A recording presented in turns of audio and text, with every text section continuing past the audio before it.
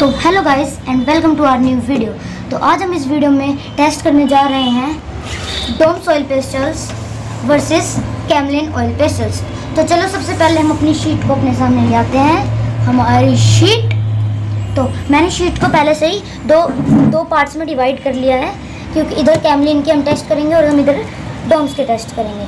तो सबसे पहले हम यहाँ पर अपनी मास्किंग टेप लगा लेते हैं। तो जैसे कि हमने अपनी मास्किंग टेप लगा लिया है तो सबसे पहले हम कुछ शेड्स चूज़ करेंगे like primary red orange and vermilion हुई तो सबसे पहले मैंने टोम्स के भी चूज़ कर लिए हैं, यही तीन शेड्स तो चलो, अब इसको हटा देते हैं हम सबसे पहले।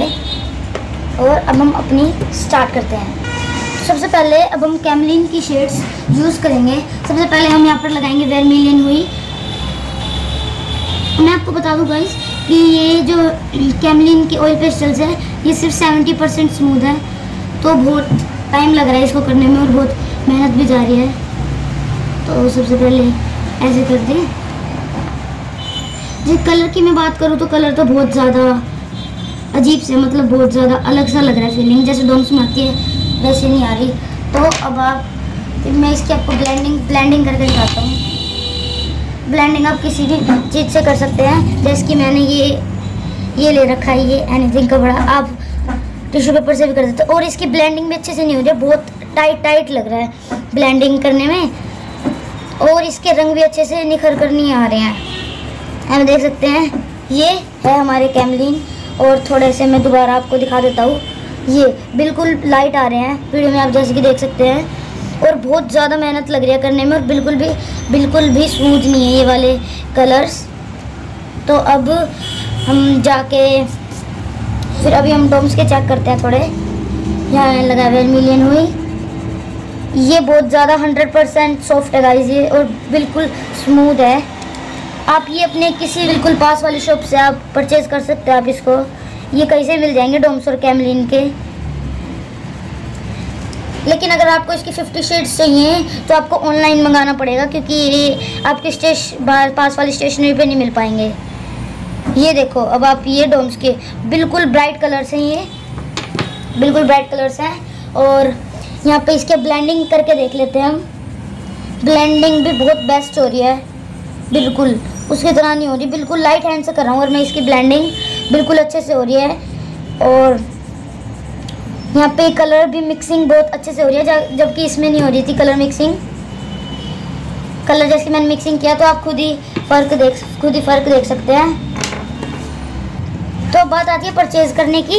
ये हैं 150 के 150 50 शेड्स है इसके अंदर। और ये आपको अपनी किसी भी पास वाली स्टेशनरी की शॉप से मिल जाएँगे। और अब यहाँ पर बात आती है ऑयल पेस्टल्स की। कैमलिन ऑयल पेस्टल्स की तो ये है 170 के 50 शेड्स लेकिन इसमें बिल्कुल भी स्मूथ नहीं है ये। तो मेरे हिसाब से मैं इसको प्रेफर नहीं करूँगा। आपको लेना है तो आप डोम्स के लीजिए, अगर आप बिगनर है तो क्योंकि बिगनर के लिए बेस्ट डोम्स के, और बिल्कुल सही प्राइस में भी है। 150 में 25 25 शेड्स है, और इसके साथ ये इसका शॉर्पनर और ये भी मिलेगा। तो मैं इसके कुछ और ब्लेंडिंग दिखाता हूँ। अब मैं आपको ब्लैक कलर की, इसकी ब्लेंडिंग दिखाता हूँ सबसे पहली बात। ब्लैक कलर में। ये बिल्कुल भी टाइट नहीं, बिल्कुल ख़राब तरीके से हो रहे हैं। बिल्कुल बहुत ज़ोर लगाना पड़ रहा है इसको चलाने में। ये और यहाँ पे अगर हम डोम्स की बात करें तो ये बिल्कुल ब्राइट और लाइट कलर्स हैं। और ये आपको पास वाली शॉप से परचेज़ कर सकते हैं और इनका बजट भी बजट भी सही है। तो अब हम इनको ब्लेंड करके देखते हैं। ये है कैमलिन कलर्स। ब्लेंड होने के बाद इसका पूरा कलर उतर गया और पीछे से वाइट वाइट हल्का हल्का पेज दिख रहा है। तो फिर आपको ये बिल्कुल भी नहीं लेना चाहिए। और अब हम करने जा रहे हैं डोम्स की, डोम्स के ब्लैक कलर से ब्लेंडिंग। तो अब देखो, ये बहुत अच्छे तरीके से ब्लेंड हो रहा है। अब आप फ़र्क खुद देख सकते हैं इसमें और इसमें क्या फ़र्क है। तो मेरे हिसाब से तो आपको ये कलर्स बिल्कुल भी नहीं लेने चाहिए। अगर आप बिगनर्स हैं तो और आपको ये कलर्स लेने चाहिए। अगर आपको ऑयल पेस्टल आर्ट करनी है तो आपको ये कलर्स बहुत मस्त हैं, बहुत अच्छे हैं, बहुत ब्राइट हैं और ये कलर्स बिल्कुल भी अच्छे नहीं हैं, आप खुद वीडियो में, पूरी वीडियो में देख सकते हैं। तो गाइज़ अगर आपको वीडियो हमारी पसंद आई हो तो हमारी इस वीडियो को लाइक करिए और हमारे इस चैनल को सब्सक्राइब करिए। Bye guys